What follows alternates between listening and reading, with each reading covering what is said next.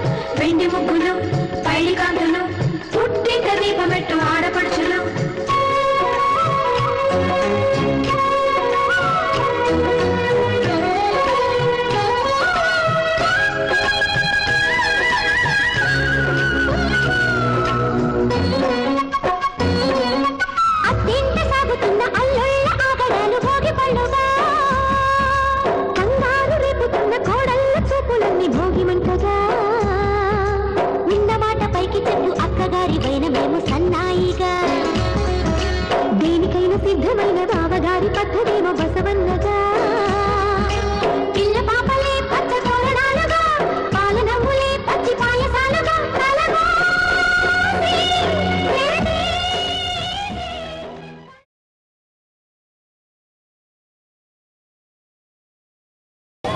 విజయవాడ నగర ప్రజలందరికీ కూడా ఆ, నగరపాలిక సంస్థ తరపు నుంచి సంక్రాంతి శుభాకాంక్షలు. ఈ సంక్రాంతి సంబరాలు మన సిటీలో బాగా జరుపుకుంటున్నాము. దాని భాగంగా ఆల్రెడీ స్కూల్ పిల్లలు ఇంటర్ స్కూల్ కాంపిటీషన్ కింద అందరికీ కూడా డ్యాన్స్ కాంపిటీషన్ మరియు డ్యాన్స్ కాంపిటీషన్ మరియు సాంగ్స్ ఫ్యాన్సీ డ్రెస్ ఇలాంటి రకరకాల కాంపిటీషన్స్ ఆల్రెడీ పదకొండో తేదీ తుమ్మలపల్లి కళాక్షేత్రంలో జరగడం జరిపించడం జరిగింది. ఈరోజు రంగోలీ కాంపిటీషన్ మరియు ముగ్గులు మరియు ఇతర ట్రెడిషనల్ గేమ్స్ ఏది ఉన్నాయో ఆ యాక్టివిటీ కూడా ఐజిఎంసీ స్టేడియంలో ఈరోజు జరుగుతుంది. చాలా బాగా జరుగుతుంది. మనకి ఫిఫ్టీన్త్ ఈవినింగ్ ఐదు ఐదు గంటలకి ఒక కల్చరల్ నైట్ లాగా ఈ కాంపిటీషన్స్లో ఎవరెవరు గెలిచారో వాళ్ళందరికీ కూడా ప్రైసెస్ మరియు ఒక కల్చరల్ షో లాగా కూడా ప్లాన్ చేయడం జరిగింది. మీరందరూ కూడా విజయవాడ నగర ప్రజలందరూ కూడా వచ్చి పార్టిసిపేట్ చేయాలని కోరుకుంటున్నాం thank you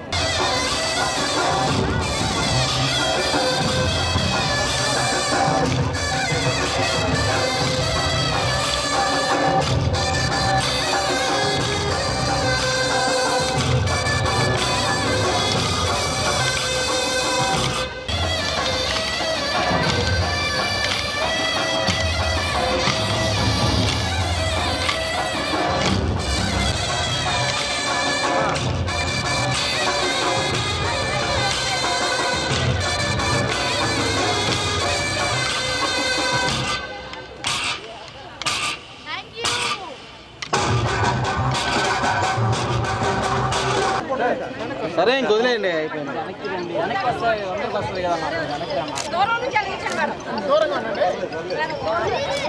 So now such a great time. So Sharada Devi garu and అలాగే Manasa garu they start higher about Bhogi మంటలు so thank you so much గట్టిగా ఒక్కసారి అందరూ please wonderful wonderful thank you so much ma'am so నగరపాలక సంస్థ వారిచే నిర్వహించబడినటువంటి ఈ సంక్రాంతి సంబరాల్లో మానస మ్యామ్ అండ్ అలాగే శారదాదేవి గారు విచ్చేసి సో వారి టైంని కేటాయించుకొని మన మన మధ్యలో నిలబడి చక్కగా మనతో పాటు వాళ్ళు వాళ్ళు పాల్పంచుకోవడానికి చాలా చాలా సంతోషకరమైన విషయం.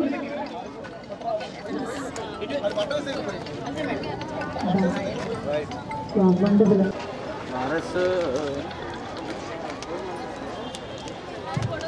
hello check hello hello hello check hello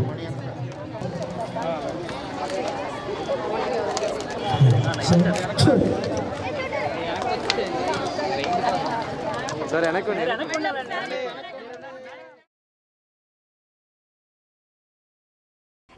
check వేంచేసి ఉన్న శ్రీ కనకదుర్గమ్మ వారి సన్నిధిలో సంక్రాంతి సంబరాలు అంగరంగ వైభవంగా నిర్వహిస్తున్నట్లు దేవస్థాన ఈవో ఎంవి సురేష్ బాబు తెలియజేశారు.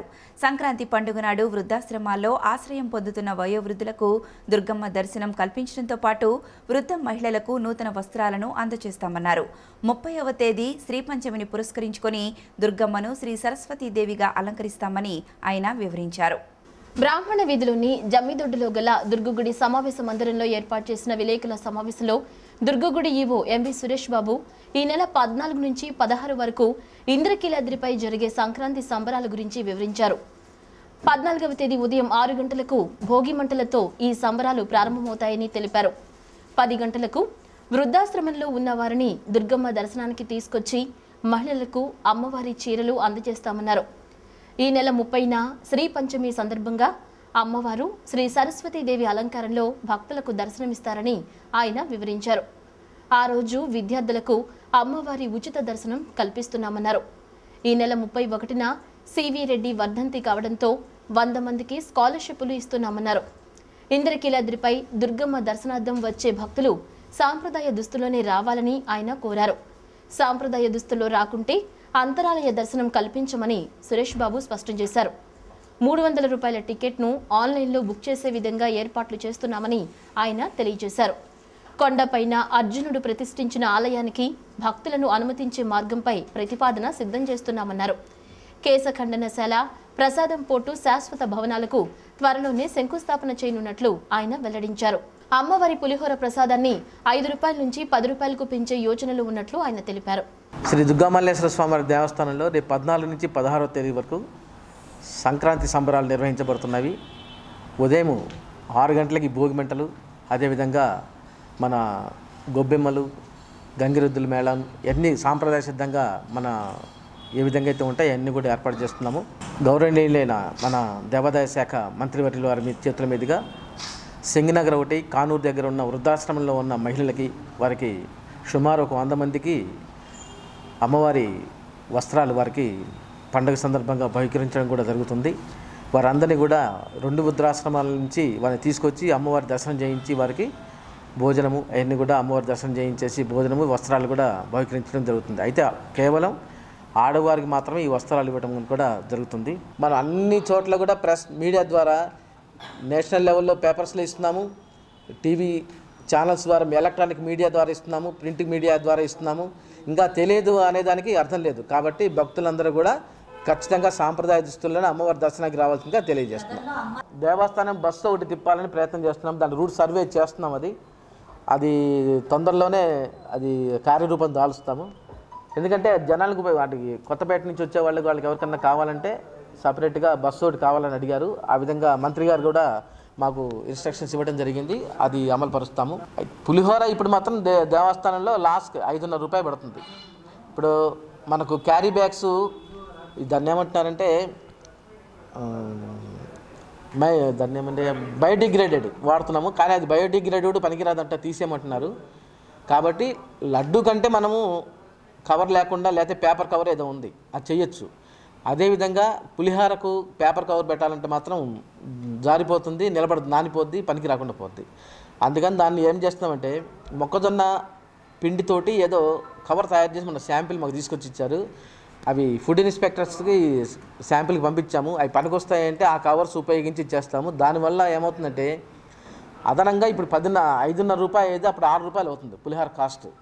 దాన్ని బట్టి మనం ఏం చేయాలంటే పులిహార రేటు కూడా పెంచుకోవాలి. దాంతోపాటు సైమల్టేనియస్గా ఇప్పుడు నూట యాభై గ్రాముల పులిహార ఉంది. ఇప్పుడు అది ఆరు రూపాయలు పడుతుంది. అందుకని రెండు వందల గ్రాముల పులిహార క్వాంటిటీ పెంచేసేసి దాన్ని పది రూపాయలు చేస్తే అందరికీ సౌకర్యంగా ఉంటుంది. పైన ఎట్లా మన క్యాంటీన్ లేవు కింద కానీ ఎక్కడ కానీ భక్తులకు అల్పాహారం కింద పనికొస్తుంది. ప్రసాదం కింద స్వీకరిస్తారు. కృష్ణా జిల్లాలో సంక్రాంతి సంబరాలు ఊపందుకున్నాయి. ఈ క్రమంలో పెనమలూరు మండలం ఉప్పులూరు గ్రామంలో రైల్వే ట్రాక్ సమీపంలో ప్రత్యేకంగా ఏర్పాటు చేసిన ప్రాంగణంలో ఈరోజు ఉదయం ముగ్గుల పోటీలతో పాటు వాలీబాల్ బ్యాడ్మింటన్ వంటి క్రీడలను నిర్వహించడంతో పాటు భోగి రోజు నుండి పశు ప్రదర్శన ఏర్పాటు చేయడంతో పాటు మహిళల వంటల పోటీలు నిర్వహించనున్నట్లు కార్యక్రమ నిర్వాహకులు మాగంటి శ్రీనివాస్ పేర్కొన్నారు. ఇప్పుడు కంగిపాడు మండలం ఉప్పులూరు గ్రామంలో మా ఊళ్ళో సంక్రాంతి సంబరాలు జరుపుతున్నాం. ఆ- సందర్భంగా ఏంటంటే ఇక్కడ పిల్లలకు ఆటల పోటీలు ముగ్గులు పోటీలు రెండోది వాలీబాల్ కో బాల్ బ్యాడ్మింటు ఇట్లాంటివన్నీ సంక్రాంతి సంబరాలు ఉక్లూరు గ్రామంలో జరుపుతున్నాం. ఇట్లాగే ఈ ఇప్పటి నుంచి ఈ మూడు రోజులు కూడా రోజు ఆటలు పాటలతో పిల్లలతో సంక్రాంతి సంబరాలు జరుపుతూ ఉంటాం. ఏంటంటే వెనక ఇదివరకు మా చింతనంలో సంక్రాంతి పండుగ అంటే గొబ్బెమ్మలు హరిదాసుళ్ళు వచ్చేవాళ్ళు. అవన్నీ కను కనుమరుగవుతున్నాయి కనుక దాన్ని మళ్ళీ ఈ అధికారికంగా ప్రభుత్వం తరఫున మా మండలంలో మా గ్రామానికి జరుపుతున్నాం. ఈరోజు ముగ్గులు పోటీలు ఒకటి వీల్ చైర్ వీల్ పోటీలు ఒకటి పాటలు అట్లాగే వాలీబాలు ఈరోజు ఇంతమటి జరిగినాయి. రేపు నుంచి ఏంటంటే పశు ప్రదర్శన పశువుల అందాలు అందాల పోటీలు గొర్రెపోతులు ప్రదర్శన ఇవన్నీ కూడా జరుగుతాయి ఈ దీనికి సహకరించిన వాళ్ళందరికీ కూడా మా గ్రామం తరపున ధన్యవాదాలు తెలుపుతున్నాం. ఈ ఆడవాళ్ళకి వంటలు కూడా వంటల పోటీ కూడా పెడుతున్నాం.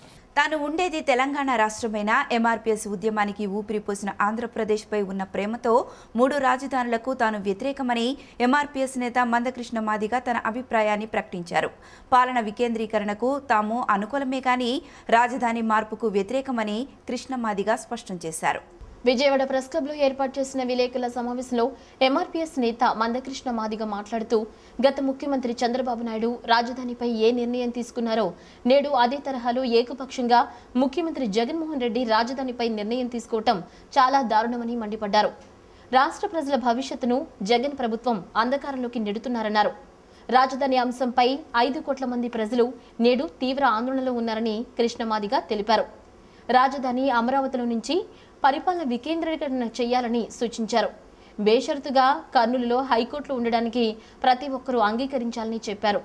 శ్రీబాగ్ ఒప్పందం ప్రకారం ప్రభుత్వాలు పాలన చేయాలని ఎంఆర్పీఎస్ నేత మందకృష్ణ మాదిగ స్పష్టం చేశారు. ఆంధ్రప్రదేశ్ రాజధాని పరిణామాలపై ఆంధ్రప్రదేశ్ రాజధాని పరిణామాలపై